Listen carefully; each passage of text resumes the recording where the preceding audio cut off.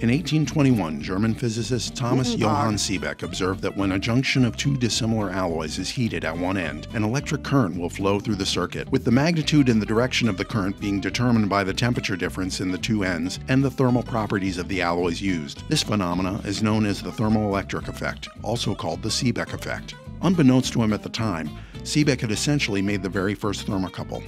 Wunderbar. Today, thermocouples are available in many different combinations of alloys and calibrations. That's a lot of alloys. A thermocouple's alloy combination, which in turn dictates its temperature range, is designated by a letter code, the most common being the base metal thermocouples known as types J, K, T, E, and N.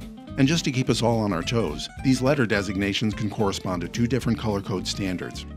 In North America, the American National Standards Institute, or ANSI color code is used, while the rest of the world recognizes the International Electrotechnical Commission Standard, or IEC, as the standard color code.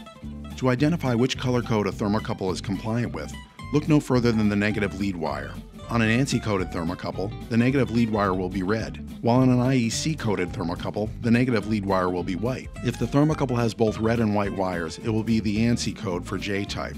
Once you've identified which color code your thermocouple is compliant with, ANSI or IEC, you can then identify the thermocouple's type or alloy combination, thus identifying its calibrated temperature range. Easy peasy.